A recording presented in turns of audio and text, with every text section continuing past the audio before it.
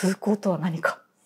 ということについてまた美についてと同じようにこう崇高についてもちょっと定義から入ってみたいと思うんですが。はい。えっと、崇高さってこう美しさとか醜さって日常使いするような言葉だと思うんですけど、うんうん、あまり日常的に崇高だっていうふうに使ったりする人ないと思うんですがないですね。実は美学の中ではこう美と並べられるほど重要な概念一つと言われているのが崇高なんですね。うんうんでこれ日本語だとこう実は訳すのがすごく難しいと思うんですが「崇高」と「if」と「異形」っていう3つとも少しずつ違う概念なんですけれどもこの場ではとりあえず崇高さとまとめさせていただきます。わ、うん、かりました、はい、でこの崇高さって何なのかっていうと例えば巨大なアルプス山脈を見てる時とか、うんうん、渦潮を見てる時とか何か自分よりも圧倒的に巨大な存在を見ていたりまたは感じていたりする時に体験する圧倒される感覚、または恐ろ恐ろしさすら受けるような感覚っていうふうに言われているんですね。エドムント・バークっていうあの、イギリスの哲学者がいるんですけれどもその人がまあ初めてこう学問として体系づけた言われてるんですね。で美しいもの美なるものっていうのはこうアクセスしやすくて、うんスケールで言えばこう小さくて可愛らしいもの、うん、一方で崇高さって何なのかっていうとすごく巨大で、うん、で拒絶されたりまたはこう圧倒されたり上にある超越的な存在みたいな風に言われるんですね。うん、だから決して心地よさとか快感をそのものから得られる対象ではなくてむしろ逆にネガティブな恐れとか恐怖とかを感じるようなものでも同時に圧倒されるような神の存在とかもそういうふうに言われるんですけれども、うん、そういったいろんな感情が混合されている混合感情に根ざした美的な概念として知られていますね。うん、あのご覧になっている方の誤解を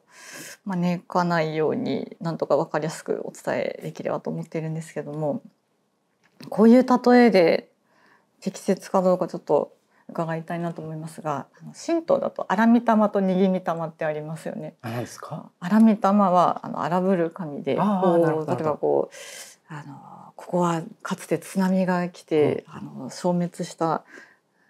漁村ですと。そこになんかこう高台に神社が建ってて、うん、海が荒ぶらないように、うん、こうその魂を鎮めるために建てられた神社ですよいうような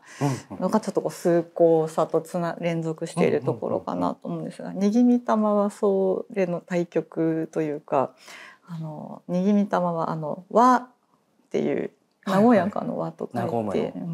で魂ですよね。ねぎみたま。あのもっとこう優しい神様。あ面白い面白い、うん、っていうなんかそういう対比で語るっていうことはそちらがこう美につな連なるもので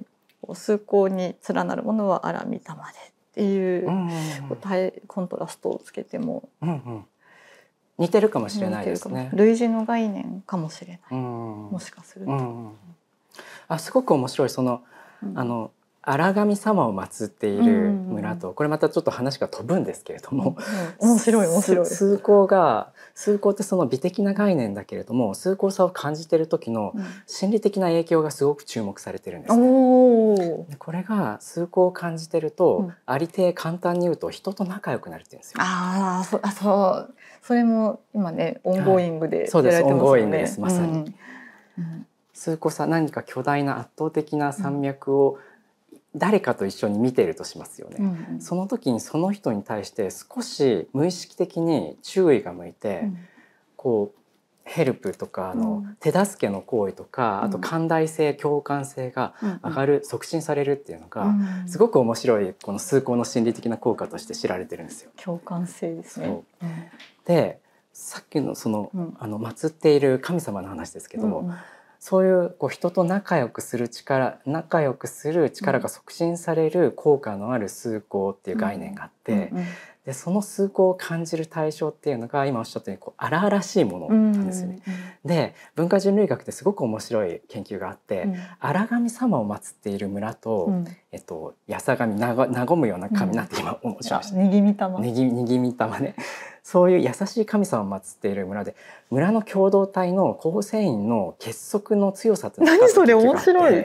そのそれちょっと文献教えていただけない？文献僕も後でちょっと調べてますね、うん、この荒神様を祀ってる村の方が、うん、村の神様は荒々しいんだけれども、うん、構成している構成員たちの結束が強いっていう。へえ面白い。その結束はどう測るんですか？結束は心理学の実験なんですけど、うんうん、例えばあのこれねあの一番最初にあのカリフォルニア大学の人たちが見つけたんですけれども、うん、カリフォルニアですんごい巨大な、うんうん、あの木があるんですよ大木が。うんうん、でその大木が目に入るようにして、うん、その人たちに崇高さを感じさせている群と、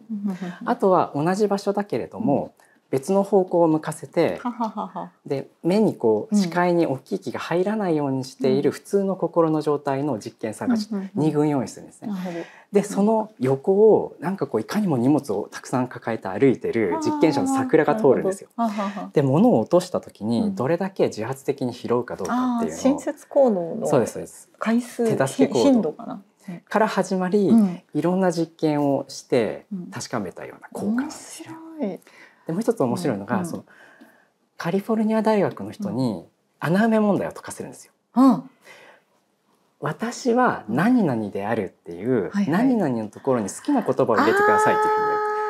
でその時によく心理学でやるやつですよね。でその時のその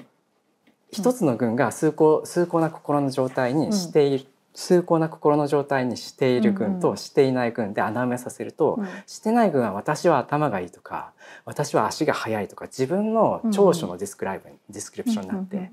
でも崇高さを感じさせた群は私はカリフォルニア大学デイビス校の学生ですとか所属、はい、私はあのアジア系の人間ですとか、そういった自分が所属している団体とか集団とかに対する意識が無意識に強まるっていうんです。貴族意識が高まる。そう、貴族意識が高まる。すごい。これは面白いな。なんかプロソーシャルビヘイビアが増えるみたいなこともあるんですかね。そうです。まさにそうです。うん、まさにプロソーシャル、高社会性が促進される興味深いこうこれ美的な概念なんだけれども、うんうん、決してこう美術館の中とか、うんうん、こうあ山の上とか本、うん、読書体験だけに閉じられたものではなくて、うん社会に開いて他者に対する態度にも影響を与えるようなものが美学の概念の中にはあるんだと、めちゃくちゃ面白いですね。されているんです。これじゃあ静岡県と あの富士山が目に入らない県で調べるとかやらないですか？やれそうですね。動鉄研究みたいであれだけど。でも面白いな。そうでもすごく面白くて、うんうん、そういう成り立ちなんですよ。もともとその、うん、最初修道ロンギヌスっていう古代ローマの人がその概念としてこう最初にこうちゃんとあの提唱したんですね、うん、サブライムっていう崇高さっていうの。でもその後廃れたんですねヨーロッパ大陸の中で。でどこでこうまたリバイバルしたかって、あの18世紀の18世紀19世紀のロマン主義なんですけど、うん、その時に、うん、あの貴族の子供たちが修学旅行入ってたんですよ。あれグランドグランドツアーよくご存知で、うん、そうそうそう。グランドツアー授業でやった。あ授業でやりました。東京芸大の授業でやった。そうそう。さすが。うん。大修学旅行博物館学でそうそうあなるほどね、うん、それ博物学とかまた政治学とか社交学とかを学びにイギリスの貴族の指定たちがローマに行くんですよ。うんうん、でその長い行程をかけていく途中でアルプスをこうアルプスをこう見るところがあるんですなるほど。でイングランドって山が全くないんですよ。そういうことですよね。三十メートルぐらいを山とか呼んでますからね。うんすごいですね。そうです。あと後でちょっとブータンの話しようと思うんですけど聞きたいブータンは4,000メートル以下の山は全部丘で名前がついてない4,000メートルですよ4,000 5,000メートル行かないと山じゃないんだって富士山って三三千、ね、すごい違いですよねすごい違いですねイングランドとブータンの違い 真逆ですね真逆ですよね、はあ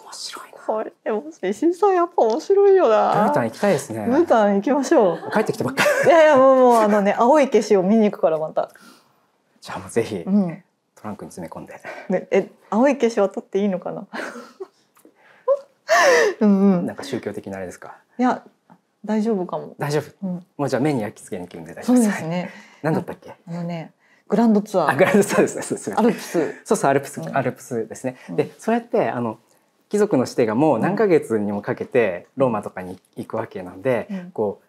はめを外しちゃうんですよ、うんうん、だからそのお目付け役として当時の知識人が家庭教師役でついていったんですよ、うんうん、でその一人がアダム・スミスとかだったんですけど。あなるほどね。で彼らにとって当時の知識階級の知識人にとってこう何もない平坦なイングランドから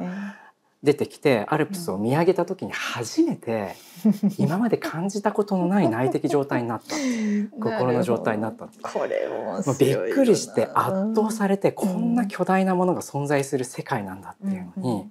気づいてでそこでアルプスって多分美しさも感じさせると思うんですけど、うんうん、でも今まで我々が感じていた美しさとは全く異質の美的な体験をした、これは何だっていうので、うんうん。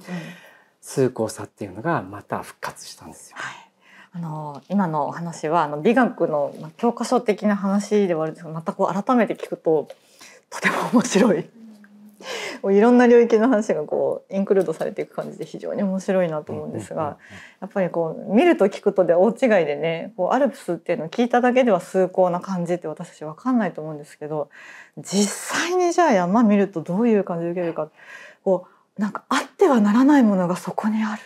というようなちょっとこうなんか不安になるようなでも心地よいような、うん、こうあもう私たちはこれにはどうあらがっても太刀打ちできないんだっ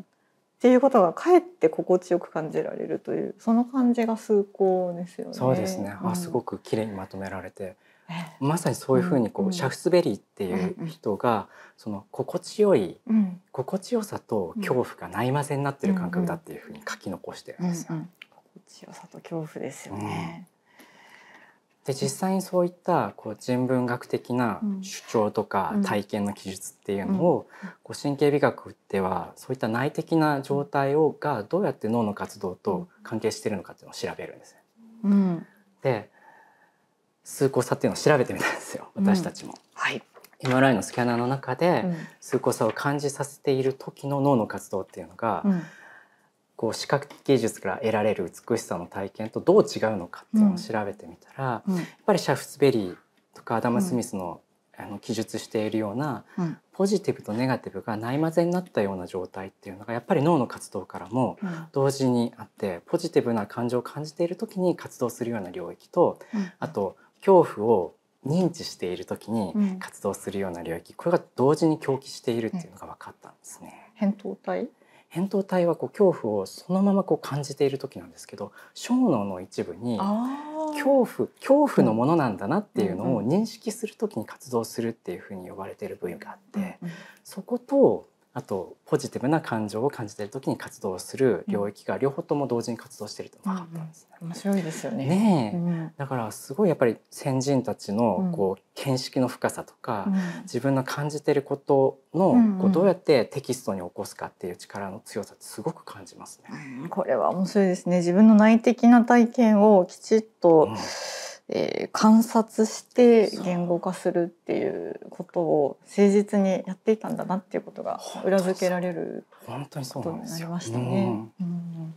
という大変興味深い研究を今してらっしゃる？